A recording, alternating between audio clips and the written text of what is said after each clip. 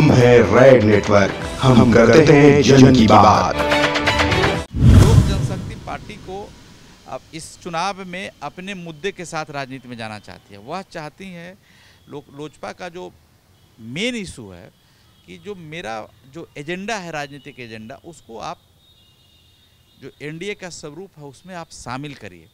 ताकि कल अगर हम जनता के बीच जाएँ तो हमारा एजेंडा लागू होना चाहिए। सीट के सवाल पर तो हमारे राष्ट्रीय अध्यक्ष चिराग पासवान जी ने कभी कहा ही नहीं हमारे राष्ट्रीय अध्यक्ष जी का एक स्टेटमेंट आज तक आप बतला दीजिए कि जो थोड़ा हल्के में जिसको लिया जा सकता है।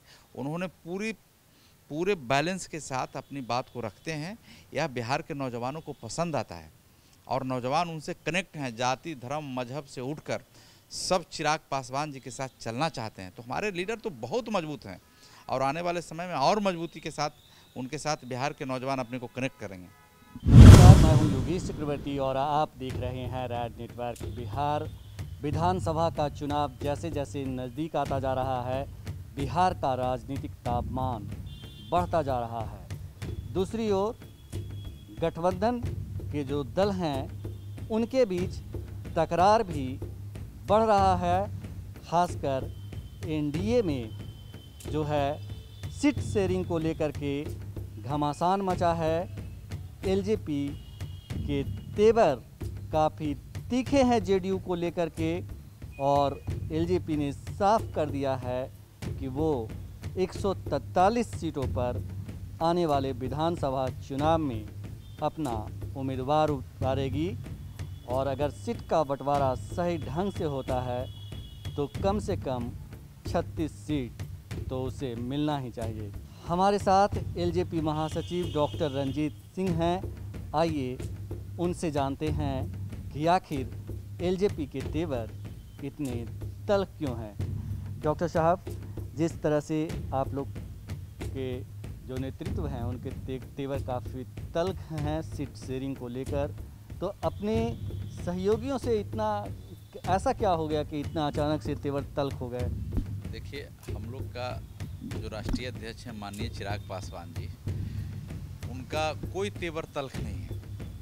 वह जो भी ज्वलंत समस्या थी बिहार का उनको बिहार फ़र्स्ट बिहारी फ़र्स्ट भ्रमण के दौरान जो भी उनके संज्ञान में आ, आया था उन सब सवाल को उन्होंने मजबूती के साथ मीडिया के माध्यम से बिहार सरकार के माननीय मुख्यमंत्री नीतीश कुमार जी के सामने रखने का काम किया था। अभी जो आपने सीट के सवाल पर आपने जो चर्चा किया है आ, हम लोग का दो दो बार पार्लियामेंट्री बोर्ड का बैठक दिल्ली में हो चुका है। 143 सीट का हम लोगों ने बूथ कमेटी बना के अपने राष्ट्रीय अध्यक्ष जी के जिम्मे उनको सौंप चुके हैं। वह पूरी मुकम्मल तैयारी के साथ, उसमें एक एक बूथ पर 10-10 आदमी की कमेटी बनी हुई है। उस बूथ का समस्या चिन्हित करके हम लोगों ने रखा है। इस बार हम लोग और ख़ास करके लोक जनशक्ति पार्टी ने बूथ, प्रत्येक बूथ का, उस बूथ का क्या समस्या है, यह भी उन्होंने चिन्हित करने के लिए कहा था। तो ये सब हम लोग तैयारी करके उनको, उनके संज्ञान में मैंने दिया है हम लोगों ने। पूरा बिहार पार्ले, पार्लियामेंट्री बोर्ड का दो दो बैठक उनके साथ हुई थी और कल भी हमारे लोक जनशक्ति पार्टी के सभी एमपी का एक बैठक हुआ था। और कुछ दिन पहले आप लोग के अखबार के माध्यम से न्यूज़ टेलीविज़न के माध्यम से जानकारी हम लोग को मिला कि हमारे राष्ट्रीय अध्यक्ष जी ने प्रधानमंत्री देश के माननीय प्रधानमंत्री नरेंद्र मोदी जी को एक चिट्ठी लिखा है। उस चिट्ठी का स्वरूप क्या है हम लोग को पता नहीं, लेकिन एक चिट्ठी लिखा है बिहार सरकार के कामकाज के सवाल पर। तो तेवर तल्ख नहीं है, लेकिन जो समस्या है उसको तो बताना पड़ेगा। आपके संज्ञान में देना पड़ेगा, क्योंकि हम लोग बिहार सरकार में, बिहार में हिस्सा में है नहीं। केंद्र सरकार में हम लोग हैं, वहाँ हमारे पार्टी के संस्थापक, आदरणीय रामविलास पासवान जी और दलित सेना के भी संस्थापक रहे हैं, वो हमारे केंद्र में मंत्री हैं तो वहाँ का सिस्टम में हम लोग हैं, लेकिन बिहार के सिस्टम में हम लोग कहीं नहीं हैं, सहयोगी हैं, हम बाहर से समर्थन दे रहे हैं। तो जो आपने कहा कि तेवर तल्ख है, तल्ख वाली कोई बात नहीं हाँ जो मूलभूत समस्या है, वो निश्चित रूप से हम लोगों ने चिन्हित करने का काम किया है।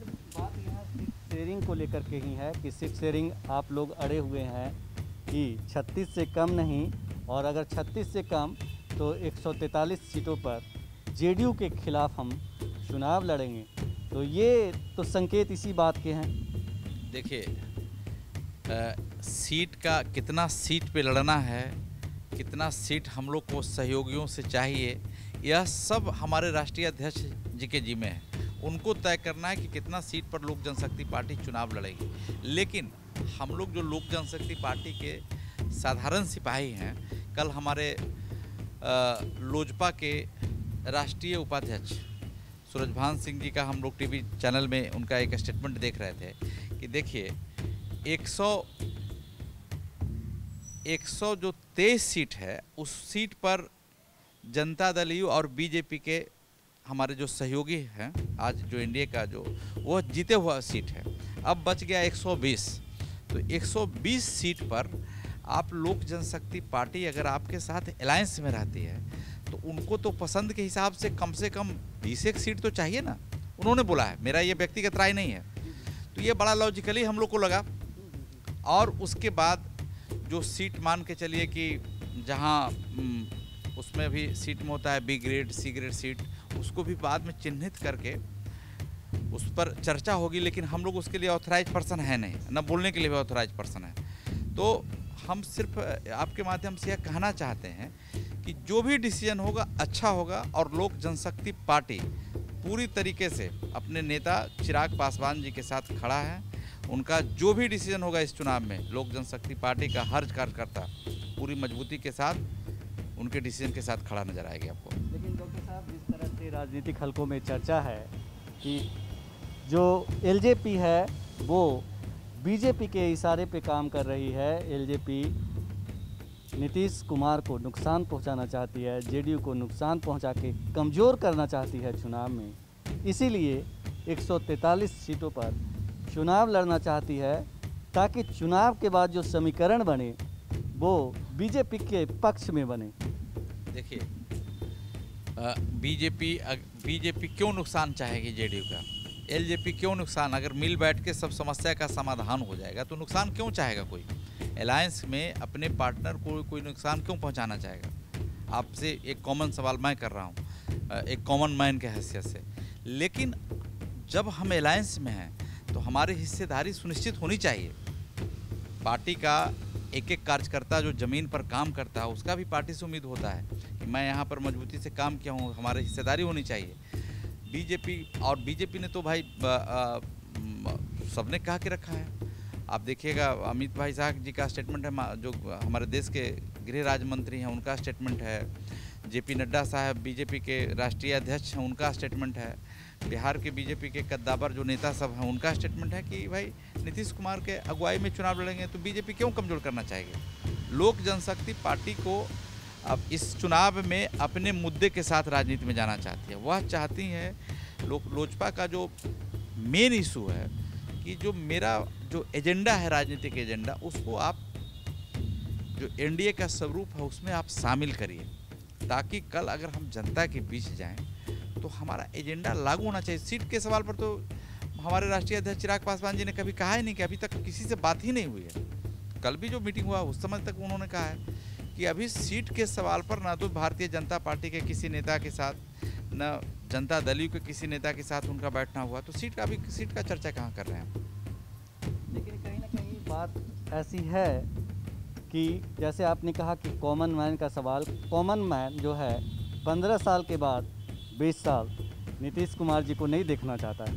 देखिए अब वो तो चुनाव के समय जब हम लोग जाएँगे जो बात है वो जो आप कहना चाह रहे हैं, वो तो हमारे राष्ट्रीय अध्यक्ष जी ने पत्र के माध्यम से बीजेपी को, भारत के प्रधानमंत्री जी को उन्होंने पत्र के माध्यम से भेजा ट्विटर पर, सब जगह देखिए, जो हम लोग फील कर रहे हैं, उसको बोल रहे हैं। लोक जनशक्ति पार्टी इस चुनाव में जनमानस का जो समस्या है, उसके साथ जुड़ के चुनाव लड़ना चाहती है। लोजपा का मुख्य एजेंडा ये है, इसको आप समझने का काम करिए।